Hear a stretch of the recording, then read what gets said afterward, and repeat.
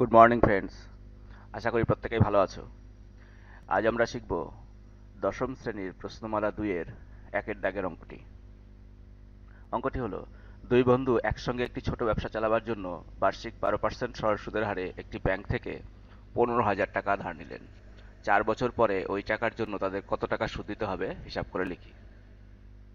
তো এই ক্ষেত্রে আমাদের কি কি দেওয়া আছে? এক্ষেত্রে আমাদের আসল দেওয়া আছে পনেরো হাজার টাকা।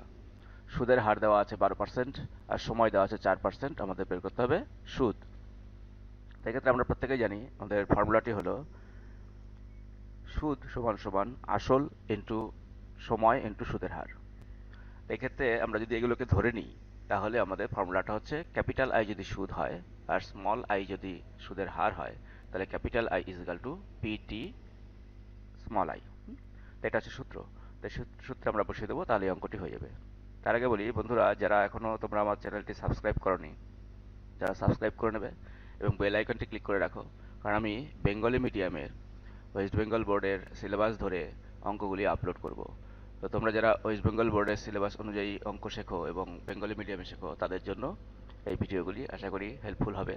তো সেই ক্ষেত্রে ভিডিও ভালো লাগলে লাইক করবে এবং প্রচুর পরিমাণে শেয়ার করো, যাতে করে তোমাদের বন্ধু বান্ধবী অর্থাৎ ক্লাসমেট যারা আছে, তারাও যেন এখান থেকে অঙ্ক শেখার সুযোগ পায়। ওকে তো যাই হোক, তাহলে এক্ষেত্রে আমাদের কী কী দেওয়া আছে? দেওয়া আছে আমাদের আসল পি ইজিক্যাল টু পনেরো হাজার টাকা। দেওয়া আছে সুদের হার স্মল আই যদি ধরি, সমান সমান বারো পার্সেন্ট দেওয়া আছে সময় টি সমান সমান চার বছর।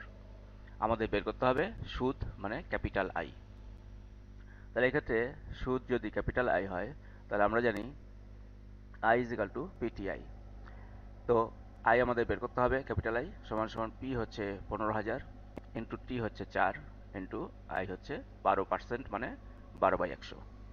এবার আমরা কাটাকাটি করতে পারি। শূন্য শূন্য কেটে গেল। তাহলে এখানে থাকলে একশো পঞ্চাশ ইন্টু চার ইন্টু বারো করলে হচ্ছে সাত হাজার দুশো। তাহলে আই হচ্ছে নির্ণয় সুদ নির্ণয় সুদ হচ্ছে সাত হাজার দুশো টাকা। কারণ এখানে সুদ নির্ণয় করতে বলেছে। তাহলে সুদটা আমাদের বেরোলো চার বছরে পনেরো হাজার টাকা সুদ হচ্ছে সাত হাজার দুশো টাকা বারো পার্সেন্ট থাকে। ওকে? আশা করি অঙ্কটি বোঝা গেছে। একবারে অসুবিধা হলে বারবার দেখো এবং পাশাপাশি খাতা নিয়ে প্র্যাকটিস করো। যখনই দেখছ এক একটা লাইন ধরে, তখন সেটা বুঝে খাতায় করার চেষ্টা করো। দুই, তিনবার করলেই অঙ্ক একদম ইজি হয়ে যাবে। আর নিজে যখন পারবে অঙ্ক, তখন কোনো অঙ্কই সমস্যা হবে না। ওকে? Thank you